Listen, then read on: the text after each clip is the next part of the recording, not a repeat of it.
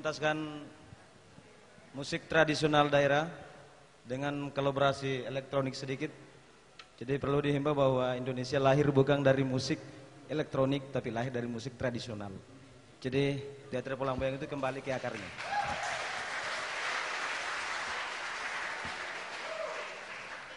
Jadi tidak usah kami berkomentar banyak, Anda sendiri akan menyaksikannya.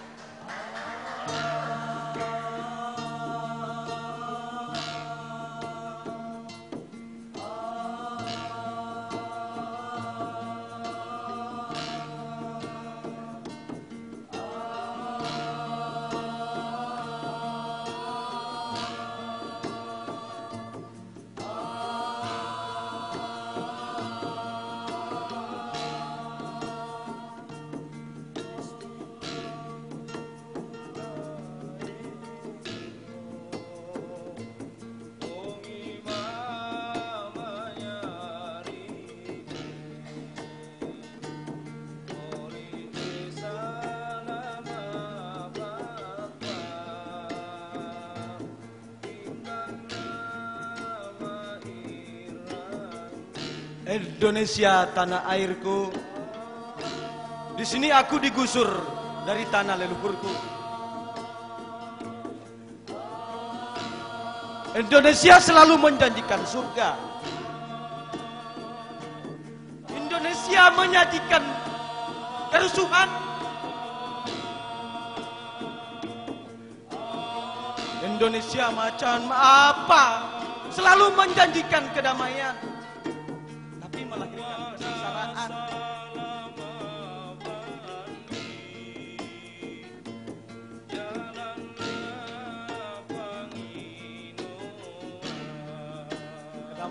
Macam apa yang selalu dijanjikan Indonesia kalau bom menjadi wisata? Darah menetes, air mata rakyat hampir habis. Indonesia macam apa kita ini?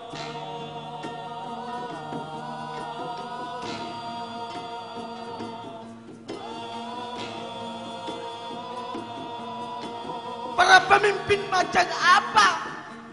Jago berpidato, tapi sangat gitu untuk.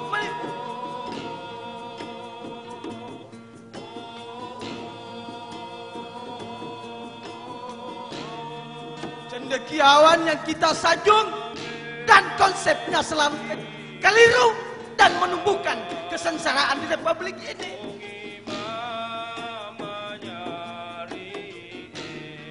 Konglomerat macam apa yang kita selalu sanjung? Kalau setiap hari dia memberi receh dan menggarap miliaran republik ini.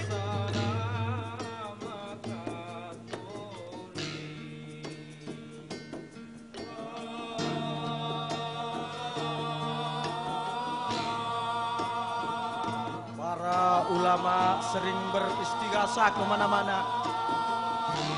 Para kaum ulama selalu beristighatsah di seluruh republik, tapi melahirkan kecurangan. Dan doanya ditampik oleh Tuhannya.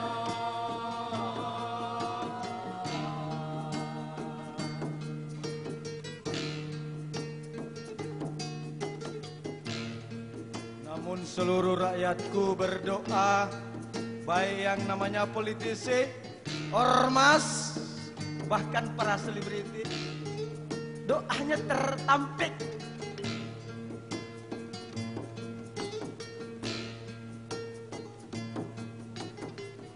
Indonesia macam apa ini? Yang setiap harinya selalu memangsa sesamanya. Indonesia tanah airku. Air airku dikeruk menjadi botol aqua setiap hari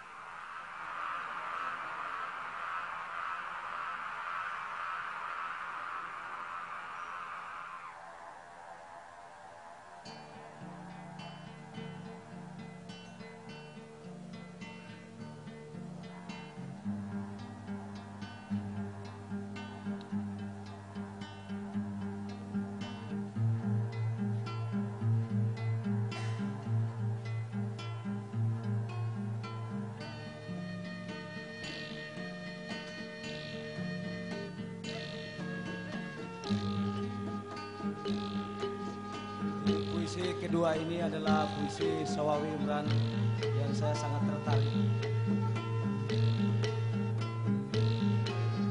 Di laut sukmamu, aku menari. Ombak bernyanyi, langit pun bernyanyi. Sambil memekarkan bunga di langit yang kelam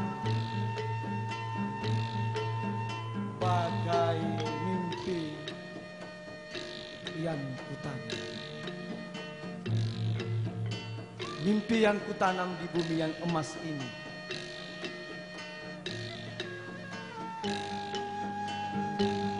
Tangan-tangan melambai.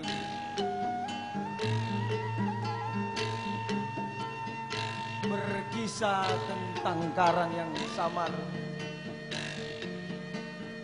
Kujaring gejolak rimba Di laut engkau tidak sendiri Mengajakku aku tersenyum Kepada diriku sendiri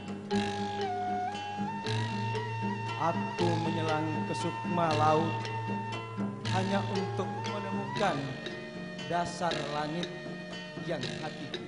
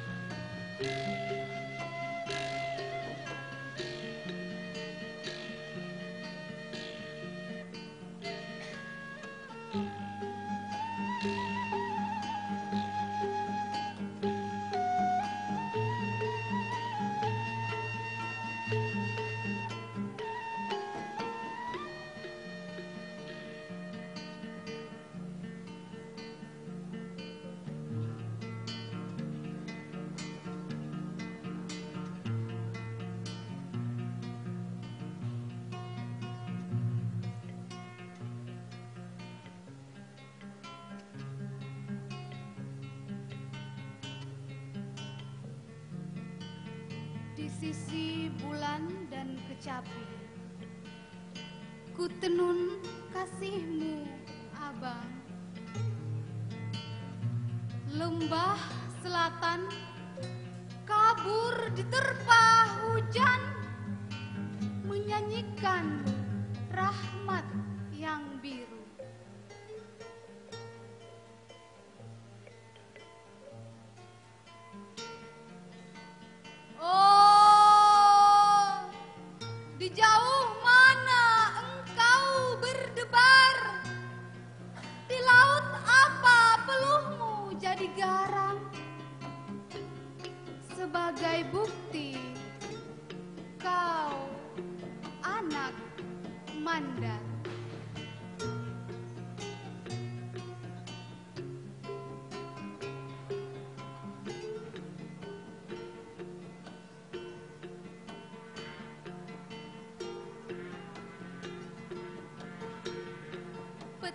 Petiklah kecapi abang. Untuk mengalahkan gelombang dalam diri Awan putih akan hinggap di lehermu Mengalungkan setiapku yang membaca Lembar-lembar jejakmu yang membisu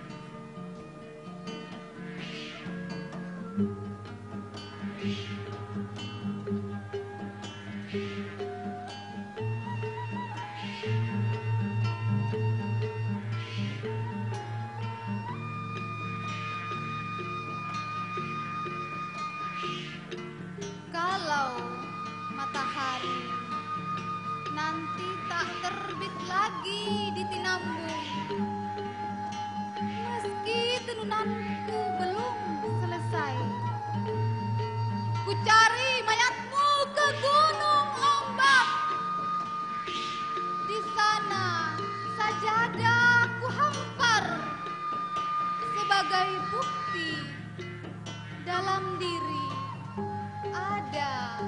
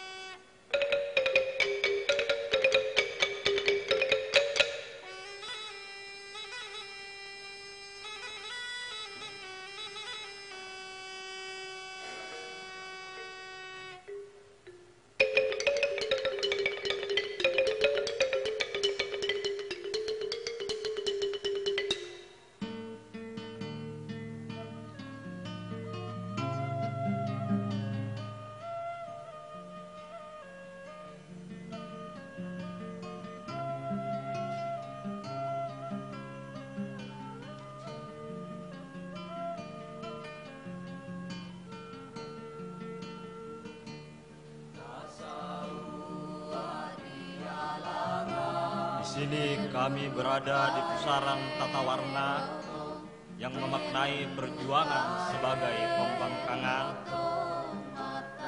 Pasal demi pasal mengikat dan menggerayangi sumsum otak hingga ke ubun-ubun. Ada suara panser dan gemuruh mesiu pada ketakutan yang mengganyang hingga ke bilik-bilik tempat tidur seragam yang tersulap menjadi malaikat pembawa lonceng kematian. Keranda dan usungan pun telah menjadi tontonan gratis di depan hidup. Amis kematian tidak lagi sakral dan menakutkan. Negara telah berperan pada pembodohan, negara telah membisukan dan membutakan kita secara berjamaah membuat persatuan dan kesatuan terjungkal oleh sukuisme dan rasial. Esok atau lusa, ketika nurani kita sekarat, adakah yang sanggup menjamin kemerdekaan tetap bersemayam? Adakah yang sanggup menjamin nyawa kita tidak ikut meregang? Rakyat rakyat, rakyat, sekawanan manusia tanpa pemberpihakan, menggapai-gapai dalam pembangunan yang bertemakan kebingungan. Kursi dan jabatan tidak lagi terlihat pada kualitas. Karena darah, nyawa dan uang telah menjadi penguasa tunggal atas segalanya. Hore, hore, hore. Tak lari dan gembira, masuk ke ruangan aula, duduk rapi, menunggu snack dan diskusi perihal rekayasa besar bangsa, alam gaib. Tanah tumpah darah mulai retak, Tepat ketika tim-tim tercerabut dari akar keindonesiaannya, saat itu Aceh mendidih kepanasan, Ambon menjerit kesakitan, Poso menghunus kelewan, Irian tak mau ketinggalan. Lantas, bagaimana dengan kita? Menghunus badik? Mengasah jembia atau tertidur pulas dan kemudian terbangun? Menatap Indonesia telah berantakan dan centang berenang seperti orkestra yang tiada henti mengalun memegakkan gendang telinga